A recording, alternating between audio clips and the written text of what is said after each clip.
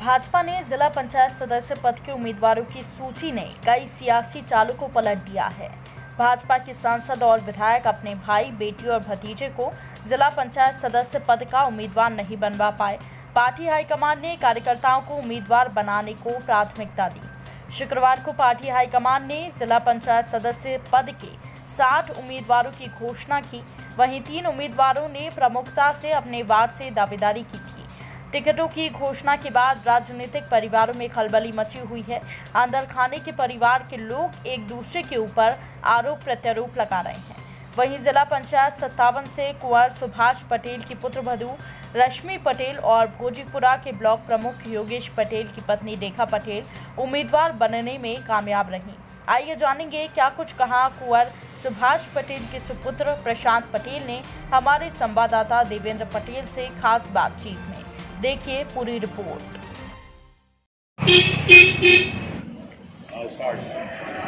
आपको बताते चले कि इस समय पंचायत चुनाव का आगाज़ शुरू हो चुका है। इस समय हम इस समय दिल्ली विधानसभा क्षेत्र में हैं जहाँ जिला पंचायत क्षेत्र में सुभाष पटेल रश्मि पटेल यहाँ से वार्ड सत्तावन से चुनाव लड़ रही है।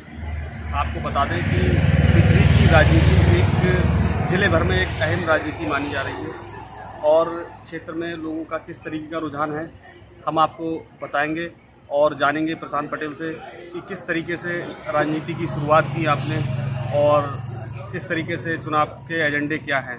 सर्वप्रथम मैं पार्टी के शीर्ष नेतृत्व को धन्यवाद देना चाहूँगा कि वार्ड सत्तावन में जिस तरीके से आज पार्टी ने अपने प्रत्याशी घोषित कराए, श्रीमती रश्मि पटेल जो मेरी भाभी हैं तो मेरा केवल इतना कहना है कि इस क्षेत्र में जो विकास की गंगा बहनी चाहिए, उस तरह से क्षेत्र में विकास नहीं हो पाया है। और ये क्षेत्र क्योंकि शहर से लगा हुआ है, और इस क्षेत्र में जितनी तेज़ी से विकास होना चाहिए, शायद वो नहीं हुआ है। इसलिए मैं चाहता हूँ इस क्षेत्र से जिला पंचायत की सदस्य रश्मि पटेल जी जीतेंगी। तो निश्चित रूप से मानिए इस क्षेत्र में विकास की गंगा भी बहेगी, और क्षेत्र में लोगों को लगेगा भी कि ये क्षेत्र जो पिछड़ गया था, थोड़ा दोबारा से एक बार स्थापित हो गया है, और क्षेत्रों से आगे बढ़ने का भी काम करेंगे। प्रमुखता क्या रहेंगी मतलब? प्रमुखता क्षेत्र में जहाँ जहाँ रोडों की समस्या है खरंजे की समस्याएँ हैं नालियों की समस्याएँ हैं जिला पंचायत के माध्यम से ये सारी समस्या को हम लोग मजबूती के साथ उठाएँगे और प्रयास करेंगे जहाँ भी कहीं विद्यालय की आवश्यकता है या कोई बारात घर की आवश्यकता है जिन जो बड़े बड़े गाँव हैं उनमें बारात घरों की समस्या है। आज बहन बेटियों की शादी होती है लोग शहर में भागते हैं देहात में बारात घरों की भी कमी है विद्यालयों की कमी है, उनको भी हम पूरा करने का प्रयास करेंगे।